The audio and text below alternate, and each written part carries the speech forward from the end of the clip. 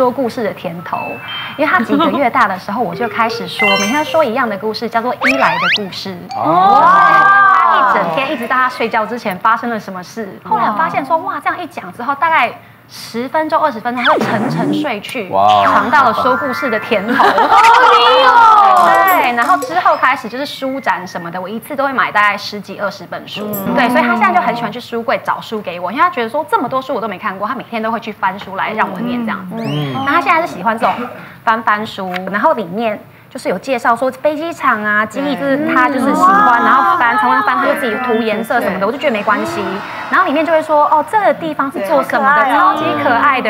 然后他现在比较大，我就进阶本这个 See Inside，就是他喜欢火车，嗯，所以他这个里面他就字跟刚刚比起来就会比较多，嗯，然后他就从火车历史开始讲。可是其实小朋友他真的喜欢的话，他就会有兴趣听你念。嗯，对，其实这大概念两三页他就睡着了。这个念可念很久，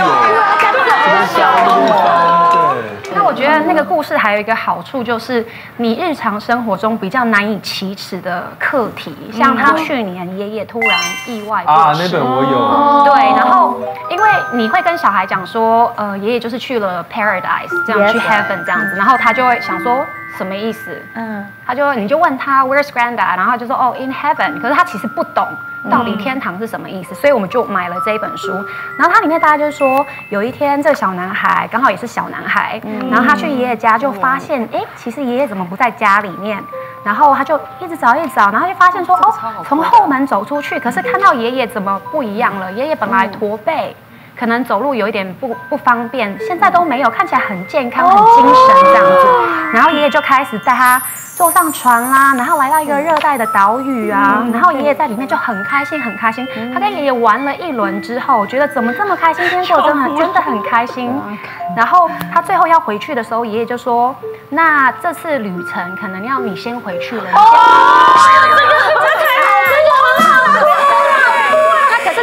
想象中，他就知道说，哦，我的爷爷去了一个很美好的地方，那以后总有一天我们会相见，但不是现在这样子。哦，其实听说你也很喜欢那本书，对不对？因为根本不敢讲啊，我我讲第一次大男生讲，然后自己在那边。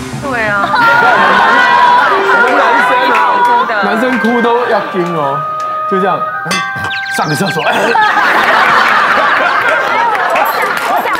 小朋友，不过因为他年纪小，他其实。他其实没有像我们那么多的回忆跟想象，那只是让他能够对于这个啊啊爷爷或者是这个长辈离开，好像感觉有点连结，不像我们有那么多的情绪。只是我们是不是真的期待？很多妈妈都会这样期待，说啊，我是不是所有这些类似啊难解释的死亡啊、性教育啊什么啊，通通都借由故事书，然后就这样子默默的传达就好？真的有这么厉害吗？其实呢，不管是说故事或者是绘本，它其实都是。呃，它的效果都在预防重治疗。嗯，就是说，像刚刚说爸爸妈妈说故事的方式，其实他可以把你想要去传达给孩子的同理心，或者是对一些生死的概念，或者是说包含是一个就是说重视这个互动的关系上面，其实他都可以从说故事或者是读绘本里面去传达。就像说爷爷过世了，这个时候我们可以找到很多对应的书籍。所以那不过在这个部分呢，我会建议爸爸妈妈可以再多做一件事，就是有关于生死，其实不会只有一本书。嗯，所以这个时候你可以多去看几本不同类型的介绍。对，这个时候让孩子对于同样一件事情有更横向的思考，跟多呃更多元的观点。哦，不过其实想问看到底哪些事情比较用故事来跟他们沟通会好一些呀？对，就像妈妈每个都这样讲，好像小孩讲的话他都当耳边风，嗯但是故事其实有一个魔力。当你把书拿出来的时候，因为你不是只有用说的，你还有一个图片，还有一个情境。孩子要的是多感官的学习，哈，这样的多感官学习，孩子会印在脑子里，记在心里，所以它的效果会变得很好。呃，我举个例，我最常用的来，生活习惯其实非常好用，哈。我们第一点，生活习惯，它里面大家是讲说食物它分成四个颜色。好啊，我们小朋友最讨厌的大概就是这个颜色哈，绿色，对不对？对。好，看到绿色，好，对不对？绿色，好，所以这时候这个书就告诉你说，是绿色家族东西，大便会很健康哦。啊，请问什么样是健康的大便？嗯，而且吃绿色食物不会生病哦。来，这个图非常的棒，大便健康就是要长这个样子的。不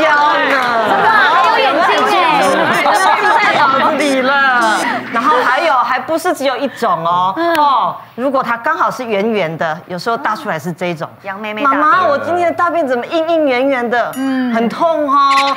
这个就是没有吃青菜，你可能要多吃一点青菜了。像这样的生活习惯，我觉得很适合用来教孩子。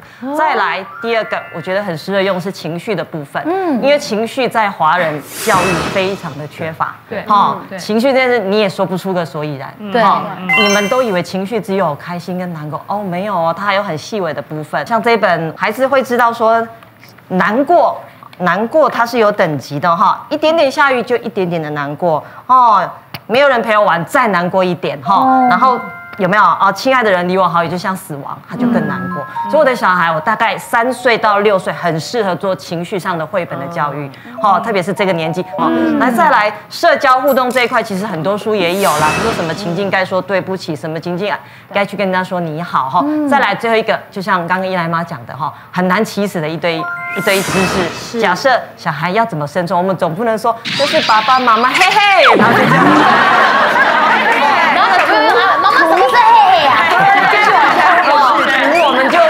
这样看过去不用讲的那么仔细，然后生死这种东西可能要一点情境，我觉得就非常的适合。对，我觉得这样就。然后有些是刚好小朋友到了这个时候，可能要学习什么东西，比方说我现在要开始学会怎么做马桶，对不对？安东妈，你好像你有的 paper 哦，没有，就是大家妈妈都有一本的，因为那是教育局给的。因为安东现在 有吗？教育局其实告诉我很多事哦。我要去领，因为。因为安东很少看中文书，他也不识字，所以我发现这一本非常非常好用。因为安东到了要那个应该要学会戒尿布的年纪，可是我的老公他是反对，就是我要强制他戒尿布。所以我们的方法就是让他现他现在两岁多，我们的方法就是让他看我们上厕所。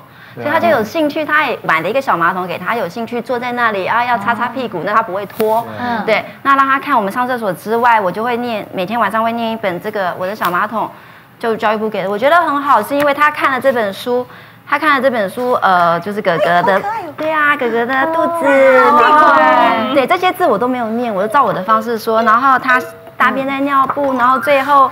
奶奶送了一个礼物，是马桶。上大号要在马桶里面，对，所以他现在就会告诉我说：“哎，我要去上。”他还不会控制，但是说我要去马桶里面上厕所。我基本上就是这一本，大家妈妈都有，这本很好用。可是其实我。呃，在他一岁多的时候，我常给他看的是这一本，就是呃小兔子的，因为他那时候喜欢兔子。嗯。然后这个小兔子就会教他，因为都是看图说故事，小兔子就会教说，衣服要这样穿，不可以从脚上面穿，不能坐桌子，要坐在椅子上面。嗯。对，吃饭不能这样玩，看书，然后到最后刷牙到。睡觉头要在哪里？很简单的，棉被要盖在哪里？自己这样子穿衣服，这样的生活需要这一段。对，我就会念这个来 来让他自己先上手他自己的生活习惯跟观念。一来妈嘞，你有自己的方法对不对？有，因为呢，这小朋友都其实会很害怕看牙医。我自己的预设立场是，小朋友一定都很害怕看牙医，都会我就会看到小朋友在那个牙医诊所面前哭闹，我不要进去啊，或是进去就是嘴巴怎么样也不打开，然后就又又回家这样子。所以在呃一来大几个月大的时候，就会开始用那个那个布帮他清清舌苔啊什么的，然后慢慢就是牙齿长出来之后要去牙龈那边涂氟嘛。那我想说，我先来讲一个有趣味的故事，叫鳄鱼怕怕，牙医怕怕。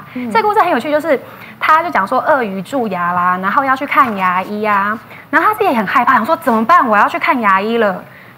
不知道牙医会对我做什么，殊不知牙医想说：天哪，今天有鳄鱼的门诊，我也害怕，他一痛就把我手咬掉？所以就是两个人在拉锯战，想说我也好害怕，你也好害怕，然后到最后。那个牙医师谢谢他，你今天没有咬断我的手。那他也谢谢牙医说，哦，你还好，你今天没有让我很痛。那最后的结论就是，你只要乖乖的刷牙，好好的刷牙，照顾你的牙齿，你就不用常常来看我这样子。好棒！不然你说直接逼小孩刷牙，他也觉得很讨厌。对对，真每一颗牙齿刷十五下，最好那个时间。对对啊。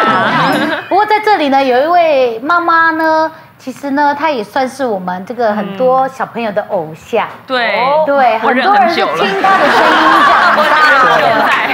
金鱼姐，他是怎么样？他是他其实他 从很早以前就开始有接触这个童书的录音，然后甚至还唱歌，对不对？对。然后我就要来介绍这一本，因为我的小孩大概也才一岁左右。